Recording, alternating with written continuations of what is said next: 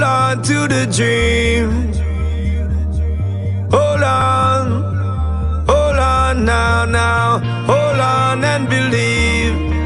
We already won. With Eh bien, salut tout le monde, c'est les deux killers de Belgique. Aujourd'hui, on se retrouve pour une toute nouvelle vidéo sur Spider-Man, mais une vidéo très courte.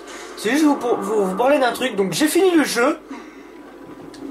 Donc, euh, grâce à mon meilleur ami, euh, il avait fait euh, une mission que j'avais jamais réussi auparavant. Et donc, donc quand j'ai allumé le jeu, j'ai vu que je n'étais plus au chapitre 6, mais bien au chapitre 7.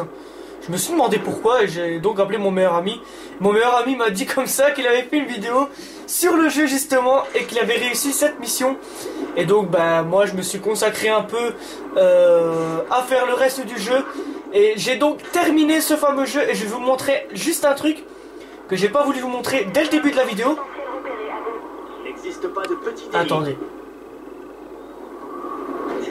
Donc voilà. Le costume de fin.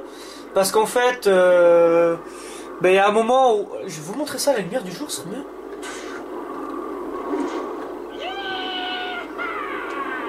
Voilà.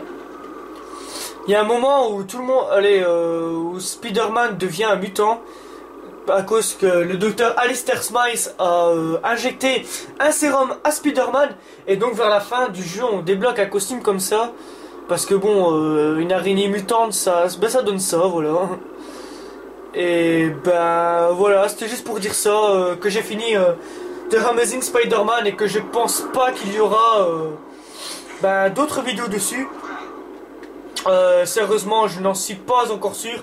Euh, je vais voir au après, mais normalement, ça devrait être la dernière. Euh, juste pour dire ça.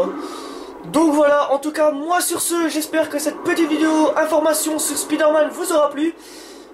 Pour ma part, moi, je vous dis à la prochaine pour de nouvelles aventures. Portez-vous bien, c'est important. Et... Ben...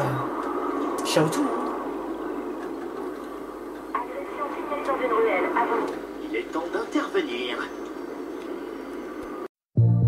Hold on to the dream. Hold on. Hold on now, now. Hold on and believe. No, we already won.